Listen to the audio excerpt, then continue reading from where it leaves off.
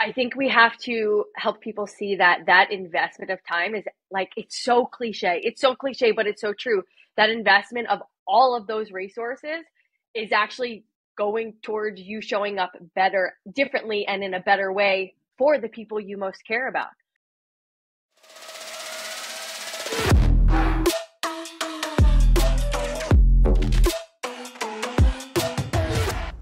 Hey, what's happening, you guys? Welcome once again to the Proclivity Podcast. I am your host here today, Joel Cochran. I'm here with my co host, Emily Rodella, and we have a special guest. I love having special guests. Emily, you know why I love having special guests? Why? Because they're special. True. they're just special each one that that we vet the people that come on for you guys because we want anyone who's coming onto the show to be able to give you some information that's going to help change your life. And without a doubt gm is one of those people. She is a remote fitness nutrition coach and she has an extensive background as a competitive athlete running crossfit and olympic lifting. She went from uh, she's gone from elite athlete to business owner to mother. GM specializes in helping women give themselves permission to evolve in the season of life that they're in, regardless of where they're starting. I'm very excited to have GM on the show. She is an incredible woman from everything that I have seen and talked to her about. GM, welcome to the Proclivity Podcast. Hi, thanks for having me. You make me sound so good. It's because you are. I because appreciate that. 100%. So, GM, what we're going to talk about today, and, and, we want the listeners to know, right? You get into that first beginning of the podcast, and you're like, okay, I saw the title. What are we going to talk about? Um, I do want to get into you and your background and for you to introduce yourself. But first and foremost, when you and I were chatting, we were we were talking and going, oh man, what what what are we going to bring that's going to be special to the show? And the one thing that we landed on was time. Time is such a valuable resource. And yet, so often, we're just allowing it to, to come and go, come and go. And it starts compounding on us. If we're not claiming our time, it starts compounding where we find ourselves kind of getting broken down. And so today, what we're going to be talking about is how to be able to reclaim your time. Tell me real quick, why was that what came up for you when I was asking, hey, what do you want to talk about on the podcast? Well, I hear that's like the number one issue I hear from most people is I just don't have time to do all the things. But I believe that we're approaching getting more time back in our day, more time back in our life the wrong way because it's not, you're not going to mm. get, you're not going to get more hours in the day. And sometimes you can't take anything off your schedule. Like you can't get rid of your kids, you can't get rid of your husband or your work. These things are there. What are we supposed to do? Just suffer? No. What if we look at time as a, getting more time from unconventional approach, right? Like, well, do you have more energy? Can we be more efficient? If we have more energy and we're more efficient, ta-da, we have more time, right? So are we mm. optimizing our energy? Are we optimizing how we're spending our time? Right? Those are things that are going to give you back more time. Yes. Yes. It, well, and and okay, I love this that you're you're starting right out of the gate here. When it comes to optimizing your energy, give us a little background with you. You know, uh, obviously you're in the position that you're in due to your history. That's why most people are passionate about the work that they do. Give us a little understanding of why you're the authority to talk about this. Before I had a kid, I had all of the time in the world. I owned a CrossFit affiliate. It was my job to work out. It was amazing. I got paid to exercise. Like, this is great. I'm just going to teach you how to air squat. Okay, awesome. And then things shifted. I had a kid and I noticed like, huh, this is this is kind of hard, right? So I had to figure out like, okay, my life is different. I still want to be me. I still want to maintain that some some sort of identity that I had before, right? Because now I'm like this whole new person. My life is different. How can I do that? How can I keep parts of me that I want to keep from my previous life and match it to where my life is now, the season that I'm in now, right? And going through like postpartum, I was doing what I did prior to having a kid and it wasn't working. I was exhausted. I was overtraining. I was not sleeping. I was doing like everything wrong, all the red flags. And on top of that, I was hungry. I was so, I was eating like three to 4,000 calories a day, gaining weight. What's wrong with me? I can't figure it out. Well, yeah, you're overtraining. Your hormones are whack. You just had a kid eight weeks ago, right? I just was doing, literally doing everything wrong until I realized, okay, it's starting to impact other areas of my life. It was impacting my work, my relationship, my confidence in myself, my body composition, all of the things that we, let's face it, we care about as postpartum women, right? When I pumped the brakes and started to do less, I had more time to do more. I had more time, more energy, more resources, all of the things that essentially women need in their life when their lives are so full. So by doing less, I was actually doing more, if that makes sense. Mm-hmm. Oh, oh, oh, you're you're speaking to the choir right here. Uh, it, it's it's so interesting, right? When a child comes, uh, there is. And listen, I'm not. I don't have children. Um, I am not a woman. Um, yet I work with a lot of women, and when the child comes, it's almost like you want to keep this past identity of yourself and be able to fit in this new child. And it really can throw you for a loop psychologically, physically, mentally, emotionally, the whole gig. And so, at what point was your breaking point where you were like, I, I got to do this differently? Was there like a moment where you're like, no, this this has to change. And it has to change now. And what did you do? Yeah, I was 18 months postpartum, and I was like, just so beating up, so beaten up on myself, right? Like uh, the negative comments, the total bashing of myself. I can remember like hiring a friend to help me work on the language because I was convinced I'm inconsistent, I'm broken. What's wrong with me? Before I had a kid, I could work out really hard. I could make set a goal and stick to it. I had a plan and I stuck to it. And now like I totally lost that part of me, right? So when I hired him and started working on my language, it forced me to pause and reflect on like, okay, wait a minute, what does my life look like now versus what did it look like then? That awareness alone was like, oh, well, what I did then isn't working now because how things were then is not working now. So it was literally like a light, a switch flipped of like, oh, I'm not, that's where this whole thing came from. Honor the season you're in. I'm not honoring that. Right. Mm-hmm. And then I started to do less and I noticed I was more confident because I'm keeping promises to myself. And then the more I flex that confidence muscle, I was able to notice the body composition changes. I was happier with my husband. Like it just infiltrated in all parts of my life. Mm. So let me ask you this. This is a, this is a very key. Uh, you said something here that I, I want to touch on. Okay. You said that you started doing less and you saw a change in your body composition. Is that true? Okay. Because so, go, ahead, go, ahead, please, please. No, no, no. Well, Take I, the in, ship and go. In the moment, I didn't know this. Like, and I'm a nutritionist. I do this for a living, but this is why I need a coach. I need an unbiased perspective. I need someone to call me out on my crap.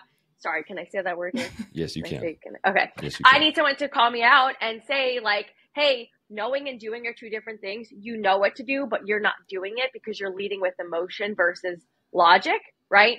I I knew, like logically, when you exercise a lot, the energy demand is higher, therefore you're going to eat more. I was also breastfeeding. I was also constantly restricting, therefore I would have to like use the willpower and find more discipline. No, I was just hungry. So then in turn, I ate a lot. The second I slowed down, I took a breath, my nervous system calmed down a little bit. Oh, I'm not as hungry. I'm not going to binge anymore because my body's finally chilled out after 18 months of beating yourself up. and the the beating yourself up, like you're I love what you said.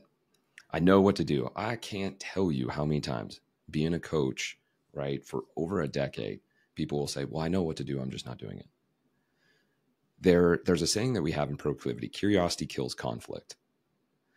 And we say that because if you if you make something a question instead of a statement, I know what to do. That's a statement. I'm not doing it. Now we're creating a characteristic of ourselves that I'm failing. Do I know what to do? How should I accomplish it? This creates a mm. shift in, in perspective and mindset of being able to go, wait a second. If I ask myself the question, I leave behind the judgment. When I make a statement, I tend to make the judgment. And if I make that judgment over and over again, 18 months later, I'm going to create this character in my head where I'm the villain or I'm incapable of, or there's nothing that I can do. I continue to put on weight and so on and so forth. And it sounds like to me, you had somebody to come in and go, let me start questioning these things a little bit. And you start going, oh, well, wait a second. And so, what were some of the things that you started doing at that 18 month mark you're like, whoa, I got to change things? what was some of the like main things that you were like, man, when I started doing this, this helped my central nervous system come down, which helped my hormones. I started sleeping better, and I started. What was that for you? I started sleeping more. I would cut out the 3:30 alarm to get on my bike to cycle for 90 minutes. Like, what are you even doing? Right? Like, my kid historically is not a good sleeper, so I was already sleep deprived, and now I'm getting up earlier. No, so I started sleeping more. Um, I also started to prioritize strength training over cardio. Like, again, I knew we need to lift weights to change your body, right? Your muscle creates your shape. I want to change my shape. I need more muscle. And I just was like, well, I got to burn the calories. I, I need calorie burn. And that, how to do that is through cardio. No, I'm going to think long term. So I switched the mindset, I guess. Like, yes, I started lifting weights, cutting out the cardio for the purpose of calorie burn. I love running. I am a trail runner. I will always love it. So I did it for joy, not for punishment, not for the calories, right? Um, I switched the mindset to what's going to benefit me in three weeks, not in three hours, sort of thing. Mm, the long term game. Weird, right? Uh, simple and easy are not the same thing. We say that quite often, right? Consistency is is king, right? we, repetition is the mother of all skills right the, being able to get into those simple things can be uh, challenging for a lot because when i don't have a lot of time GM i want results when right now or even yesterday would be great yeah yeah right and so for the the the women that are out there uh, who are living that lifestyle they haven't had the moment to be uh, to slow down. What is it that they what's the first steps that they can start doing to be able to start stepping back? Like when you get somebody who's like wired out they're like to their wits end what's some of the first things that you start doing with them awareness like we have to become aware of what we're doing and then acknowledge like hey is this actually working right? And that's hard. We have to take a look in the mirror and say, like, I've been doing this for X amount of time. You're probably exhausted, right? Yeah. It's probably disheartening constantly doing the same thing and constantly feeling like a failure. All right. So what what is it? What is it the thing that you're doing? Let's awareness precedes change. We cannot change what we don't know. So I first and foremost like you have to figure out where you are and then become more intentional with your actions right? If we kind of just blindly go through, well, the uh, the uh, celebrity trainer says to get 90 minutes of cardio in a, a, day, right? Well, okay, but is that how you're intentionally you want to intentionally spend your time, right? Mm-hmm. Or are you better off like just being more active throughout the day and focusing on your non-exercise activity? Now you got 90 minutes back in your day, probably a little bit more energy, and you probably burnt more calories over the course of the day because you were just generally more active as opposed to that 90 minute stint right? So it's starting with that awareness and then taking it into intention like intentional action. And i love the the self-awareness. We're huge on uh, awareness. It can be a very scary thing i, I want to balance these two right and get your reflection on them what's the difference between self-awareness and self-care I think self awareness is part of self care. right? Like when you can, without judgment, say, this is where I am, right? Um, without, again, stay curious, not judgmental. Without that judgment, you are caring for yourself. You're not making it a good or a bad. You're simply stating, this is where I am, this is where I want to be, and this is the most efficient way to get there, the most effective way to get there. That is self care because now you're not going to be doing those, making those changes from a place of hate. It's more from a place of love. You can't hate yourself into loving yourself. So mm. that awareness is a form of self care. I don't know. It sounds weird, but that's how my brain connects it. I love it. I love it. And I, I, I, agree with you. And you've already mentioned a few things in terms of, of self care that I want to highlight uh, for the listeners, right? When it comes to self care, you guys, we tend to think like, I need to go take a vacation or I need to find more time to go get a massage. And all those, those things can be beneficial. When you are strapped on time and you got a kid and you got a business and you got to be able to like, oh, well, let me find out the babysitter to be able to come over so that I can go and get a massage.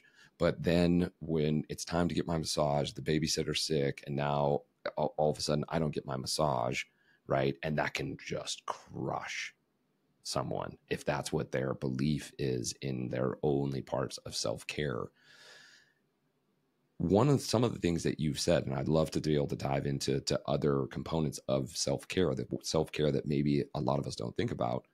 But you talked about your non exercise activity throughout the day. That's a big one to be able to highlight that that can be self care, correct? Yeah, for sure. It's funny. You were talking, and I thought I checked in with a client this week, and she's like, Hey, I'm not going to check in with you this week. I'm just not taking care of myself. It is what it is. It's the time of year we'll connect next week. And I was like, okay, we're going to have a conversation about this, right? And there's two there's two different conversations that we can have. We can say, you know what, in this season, it's going to last a week. Christmas is almost over, and that's where her overwhelm is coming from.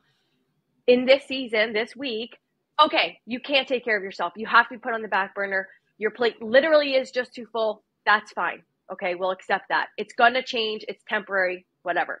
Or we can have the conversation of like, you think you're not taking care of yourself because the things that you're doing, you're not intentionally saying, this is caring for, for yourself. Are you drinking water every day? That is a form of self care in different seasons of life. Are you going out for your walks every day? Because I know she's going for her walks every day. That is a form of self care in the season of life. Yes, I would love to, you to check all 12 boxes we want to check every day, but it's not going to be a realistic every day. That doesn't mean you're not taking care of yourself. It's just you're changing your definition of consistency in this moment. Mm, gosh, that's so good. Sorry, did I answer your question? Yeah, yeah, you're you're answering all my questions and the questions okay. I don't even have. Okay. I, I, I want to bring Emily into this because she has been in talk about seasons, and I love this like honoring the season that you're in. Um, a lot of the, we we talk about having percentages to get to your check mark. So I you can still get a check mark if you're doing 25%. Uh, you can still get a check mark if you're doing 50%. So we have like a 25% meal, a 50% meal, a 75% meal. And then, of course, your 100% meal, you know, the meal that's like, man, that's dialed in and it's perfect and so on and so forth. But what's our 75? What's our 50? What's our 25? A lot of people don't know the, the differences in there. Now, Emily's been going through a, a, a pretty rough season uh, holidays coming up. She has a kid. The kid's not, Dansby's not sleeping so well. There's different things going on. Emily, how have you honored yourself through this season? If we can give a little background to GM and the listeners, mm-hmm. what's been going on? Yeah. So, I mean, as for a lot of people, the holidays can bring up um, some extra pressure in terms of how we spend our time, like you were talking about. And with that, um, I, I'm a recovering people pleaser and so it's con- i'm continuing to find ways to to slow that down in terms of like well it's like i have to take time my to go mm, instead of my usual reaction or action to please other people how can i do that for myself? And my son hasn't been sleeping. Very well he wakes up multiple times in the night or wakes up super early. And usually that's when i get my workout in as, like you were saying. And so I, I was sick also. I had a really bad cold for uh, really bad for two weeks and it lingered for another two and, I, and i'm just now getting over it and this was before thanksgiving and it's I, exercise is my favorite thing to do. It's my favorite activity. But I've done maybe five workouts in the last month, like, and they were all under 30 minutes. And for me, I recognize with the lack of sleep, I, my self care is sleeping in. It's taking the rest where I can. It's not rushing. It's saying no to the event. I had like three events scheduled in one day last week, and I was like, mm, still not feeling well. I want to spend time with my son. He's, I could tell he's feeling disconnected with me. I'm going to say no. Right. And so it's those little things in my head. Those are, those are all huge self cares for me because one, I'm going to, it's going to make me feel better, refill my cup. But two, like I, I just know it's, it's hard for me to to skip the workout but I, I look at the other things like at what cost if i were to get up early and do the workout it's not going to be it's not going to be as beneficial and so me that to me that's treating myself and so a, a form of self-care mm-hmm.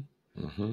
And what have been some of the? I know you've talked about, hey, you've in this season, uh, your self care is sleeping a little more. Is there any other things that things that you've done for self care during this time? Um, yeah, a few more things. I've I've started seeing a, a therapist to again for the recovering people pleaser in me.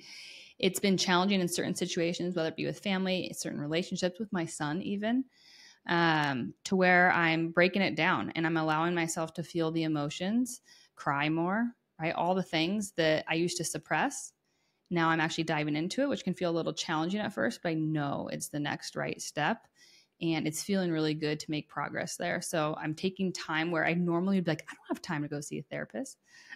like, that's crazy talk. But it's extremely helpful for me in this season. I'm like, this is what I need. This is my self care. I love it. I love it. So GM, when you have people that that come to you, what would you say are like the top three um, pain points that they're dealing with when they come when they come and they're they've reached their breaking point? What are usually the top three pain points that you see with your your clientele? They have no time, or they believe they have no time, whatever. Um, they're inconsistent, right? They they just can't seem to stay on track. That mindset of like what consistency means. It's very black and white. They don't know how to live in the gray. Um, and I think focusing too much on like the sexy things, right? Like the the I always say like the super sexy, the supplements, the nutrition timing, the perfect macros. That's what's going to lead them to being successful. When it's mm. like, well, if you're dehydrated, does the, the supplement actually matter, right? Like, why don't we work on like the foundation? We have, I have a pyramid of success and we have to work on the foundation before we can get to the tippy top. And in that foundation, it's like, are you sleeping? Are you managing your stress? Do you have proper boundaries in place? Not just for you, but for like, other, or not just to keep people out, but to like keep you in your life. Emily, when you were talking, I thought about like boundaries. Like that's huge. You're holding a boundary to keep you in your life more. Like that is a form of self care if I've ever heard of it, right? Mm-hmm. Mm. So, uh, yeah, I would say like the time, the consistency, and then staying focused on your foundational things that you can take with you when you're sick and holidays, vacations, all of that. Mm-hmm. Yeah, yeah. The the the tool belt, right, of being able to carry those tools with you all the time instead of like these really high demand asks that are needed from uh, different programs uh, that can work really well if you don't have a kid, if your time isn't strapped, that that you're not working 40 hours a week. They can work because you're like, oh, I can invest that time in there. But as you found out too, I'm, I'm sure you did things a lot differently when you were an elite athlete than you are now. Yet comparing those two, how do how does the elite athlete GM feel to the mom and business owner GM now? Are, are there differences? Are there similarities? I think I'm a little bit more accept, accepting, whereas before I had more control, and now there's a lot less in my control. But I'm more accepting of that, right? Like straight up radical acceptance. When my kid would wake up at 3:30 a.m every day for a year and a half. Like I fought it. I hired sleep consultants. I did all the things. He was broken. No, I just need to accept he's going to wake up early, right? Whereas prior to that life, before I had a kid, if there was something I didn't like, I would I would fix it because I was in control of the situation. It was just me and my dogs. Of course I was in control, right? So I would mm-hmm. find a way. And now like I'm realizing, well the way might just be accepting the season and knowing it's going to pass. Gosh. I love that. I love that. It, it, it my thought process here is like you know, water finds the path of least resistance. That's why rivers don't flow straight, right? They curve, particularly here in, in the Sierra Nevadas, because there's granite or there's rocks that the water's not going to be able to get through. So it goes around. And I feel in in in life, being able to have that mindset or attitude of like, wow, there's a lot of resistance here. Okay, well, where can I go? Instead of I have to try to push through this or climb through this. Uh, that's what I'm hearing is one of the things that you have become called an expert or um, very good at is being able to instead of try to push through to be able to go around. Yes. And that's even gonna and like relating back to like how do we get more time back in our life? How much time did i spend obsessing over like we'll use the sleep for example obsessing over my son's sleep trying to hire sleep consultants reading the blogs just generally stressing about it. That's exhausting. I had no energy because it was all spent towards focusing on that. And it's the same conversation. If you're focused on what you hate about your body or what you want to change with your body like that's exhausting. Constantly thinking about food and how you can cut calories or i'm so hungry. When can i have my next meal? That's mm-hmm. taking mental energy when you don't have the mental energy, you're not going to be efficient with your time. It's like it's all connected. Mm-hmm. Mm-hmm. Oh, the time, the time, the time. It's such a such a finite resource. I, I want to come back to strategies of being able to say no. Right. We believe here at Proclivity that no and yes are complete sentences. Yet, how do you help your clientele start setting boundaries and using the word no? I think it's through conversation. I because when you're in it, you don't you don't see that as an option. Like that's just not an option. I, I can't I can't tell them I can't tell them no. It's what I have to do, right? But through that discussion and getting someone else's like, well, you're saying this, but what I'm hearing and seeing is this. Obviously, within scope of practice, I'm not a therapist, right? Uh, for example, I talked to a lady yesterday she just came off of six weeks of travel in seven different time zones, like the most insane schedule I've ever heard of. And she like started crying because of her her Christmas cards. It was not working out. It sent her into a tizzy. And I'm like, why are you even doing Christmas cards this year? Send an email to everyone. Hi, this year was really crazy. We're good. We'll talk to you next year.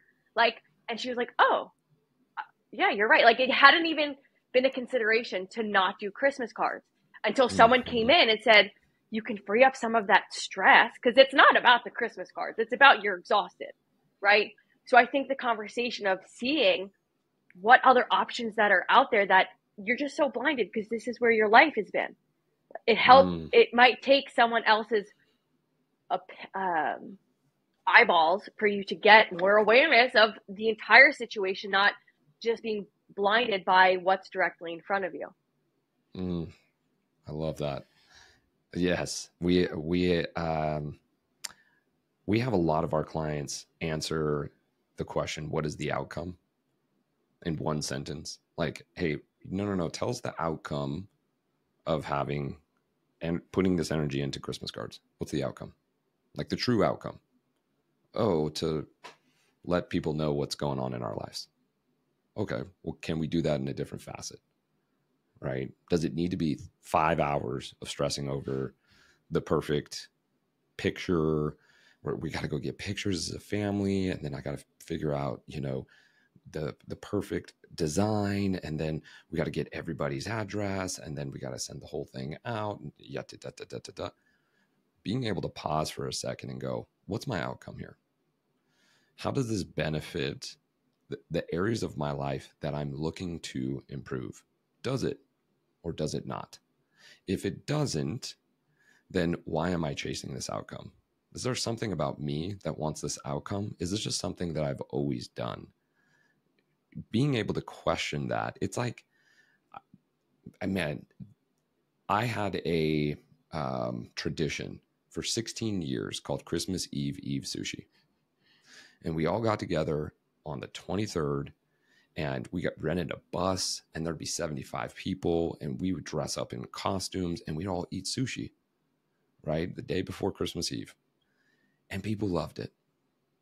And then it got to a point where i was like too much of a lift and i shut it down. And people were like what? Why that was such a good tradition. And we sometimes get stuck on these traditions or it's always how i've done it. We use binary words like always and never that trap us into a, a, a position that makes us feel this is what we have to do. Right. But this is full permission for everybody out there. You have full permission from GM, myself, and Emily to say no and to not do the tradition, the chocolate you know mug tradition that you have to go find the perfect mug and you have to do the coffee mug exchange. You don't have to do it. If it's if it's not if that's a different season like gm says you have full permission not to do that. Do you agree in being able to give that that same type of permission gm i just want to make sure i'm speaking for you here. Oh yeah. No for sure. I encourage it. I encourage you to say no more because the more you do it the easier it's going to get. Yes. Yes. Yes. Emily, I want to give you some uh, some opportunity to sneak in here. You've been listening. Is there any any questions that are coming up for for you for GM?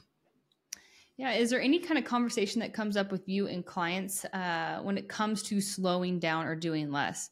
There's a lot of fear out there, like, is this the right thing? Because it feels counterintuitive to a lot of uh, people. And for me, when people ask that question, like the first thing that comes to mind is we got to trust the process. But is there anything uh, else that you have in that conversation with clients into learning how to trust that process, trust themselves? Is there anything else that goes into that for you? I always want to like um, agree with them and say that it is that it is hard, right? It is so counterintuitive. Like if you want to get better at riding a bike, you're going to ride your bike more. And now you're telling me that I want to change my body, I want to lose weight, whatever it is, I need to do less of the thing that's supposed to help me get there. I need to do less of exercise. I need to do less of fitness. So, first, acknowledging, like, yeah, it's counterintuitive, 100%.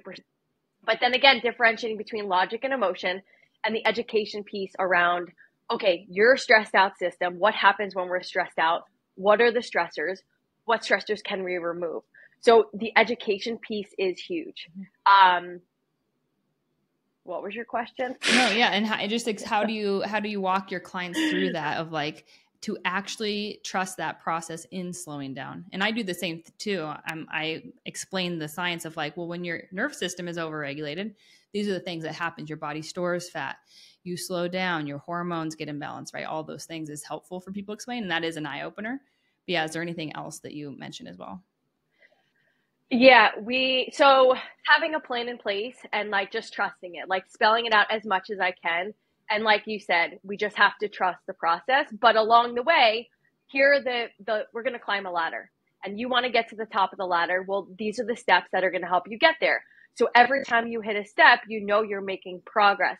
And it's that constant conversation back and forth, the internal conversation. Um, it's it's a lot of just, hey, you hired me. This is hard. I understand, but what you were, what were you doing? What if what you were doing was working? You wouldn't be here right now, mm-hmm. right? It's it's that conversation. Yeah, because it is. It's just blind trust.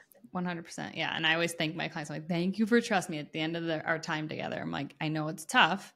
We've got to trust the process, and, and like you said, uh, if you're if what you've been doing hasn't been working, we got to try something new. And we always say change creates change, and change is hard for people. And so, no, uh, change is challenging, but also it's what it's what is necessary. That's why we. Ha- that's why people hire. Nothing us. changes.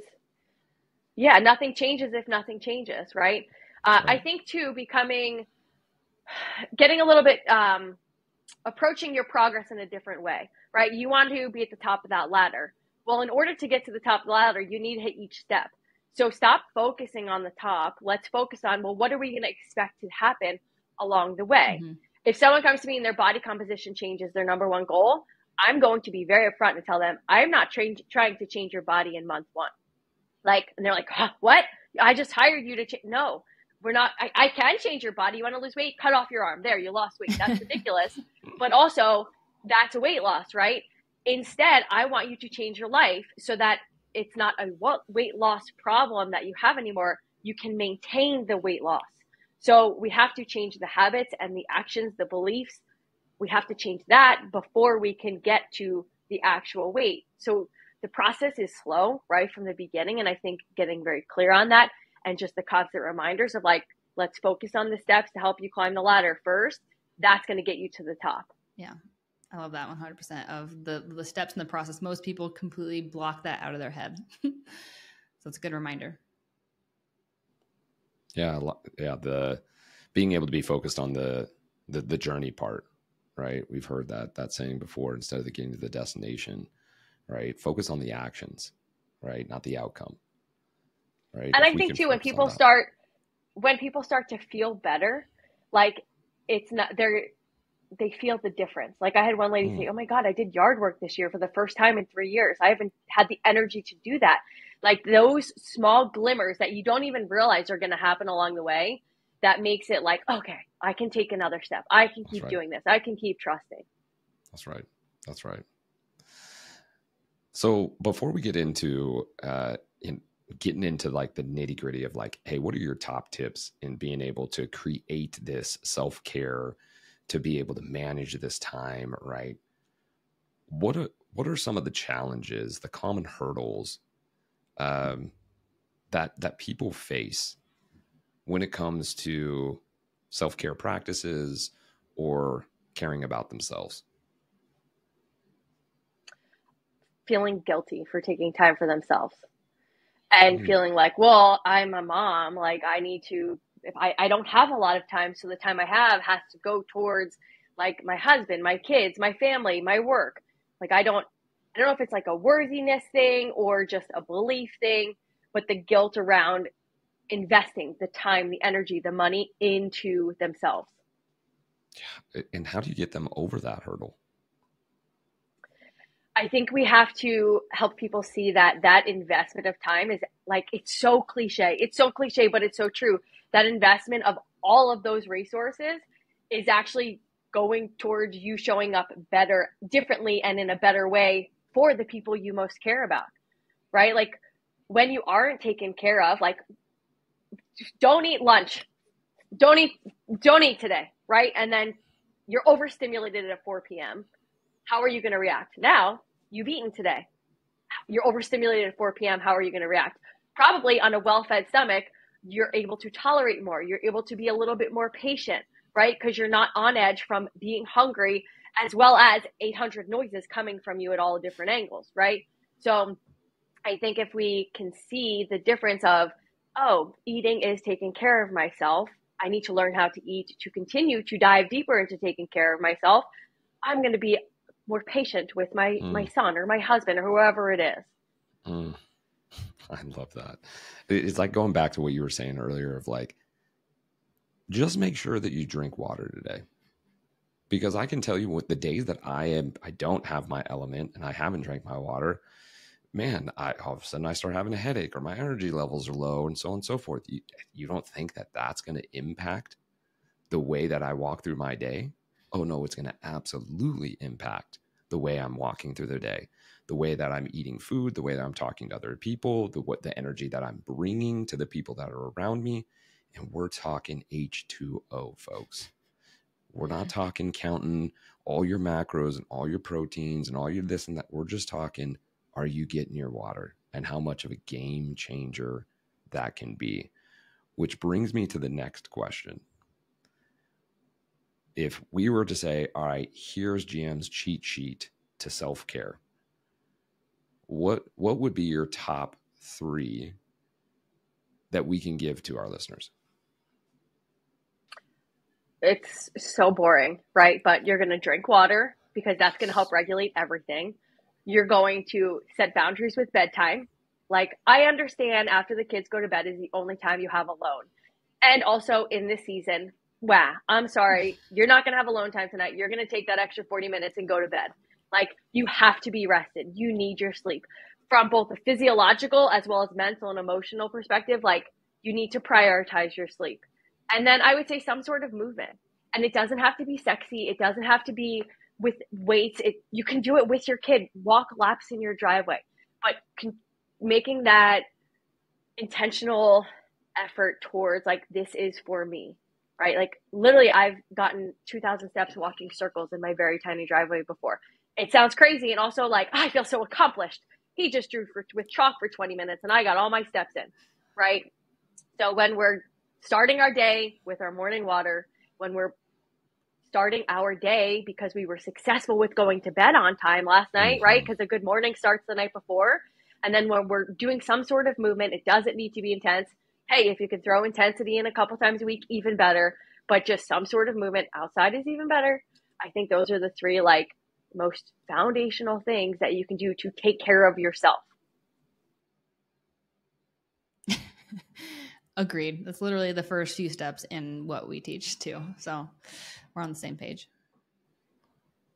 Uh, absolutely, absolutely. And there's one part in there that I want to I want us to touch because I people tend to struggle with what you brought up in the second one, which is, wow, I finally put the kids down. So now it's like, I, I want to be able to just check Instagram real quick, or I want to be able to watch that movie, or I want to be able to do those things yet it can be really detrimental like this the benefit of actually being asleep for an additional 40 minutes to an hour compared to watching the you know tv show or scrolling on instagram is exponential particularly when it starts compounding.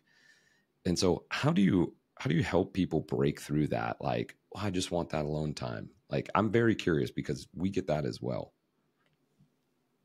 Where else can you get it right and if you're using your alone time to be on social media, are you actually like alone? Like, are you spending time with yourself or are you just blindly getting lost in other people? Right? Like, pick up a fiction book and like read some smut or something before bed. That's going to be a lot better for your central nervous system than scrolling the blue, the blue light for 40 minutes. Right? I mm-hmm. think part of it is finding time throughout the day and then like okay you had a really hard day. It's a tuesday. It was really hard. You just need the 40 minutes on your phone. Do it. Fine. But don't let it become the norm. Mm. right? Like again it's not black and white. I could say like every night you need to be in bed as soon as your kid goes to bed. Oh that's not realistic. Right? You're setting yourself up for failure there. So give yourself the permission on occasion. But like you said when it happens every night it's compounding. So where can you take that alone time earlier in the day I don't know, the screen is kind of like a big thing in my life. I don't know how I feel about it. And also, I'm going to let my kid watch Paw Patrol for 30 minutes if I just need a break sometimes. Like, he's going to, he's not going to be a worse person before it. I'm going to be a better person for it. So everyone wins, right? It's the sacrifice, give and take in different spots at different times of day, as long as it's not compounding and you're not hurting anyone. Yes, yes.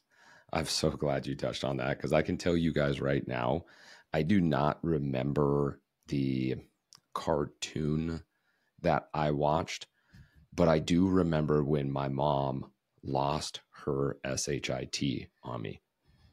Now, I didn't, as a kid, don't know because, you know, I kept her up or there was a lot going on with work or there was stress in our relationship.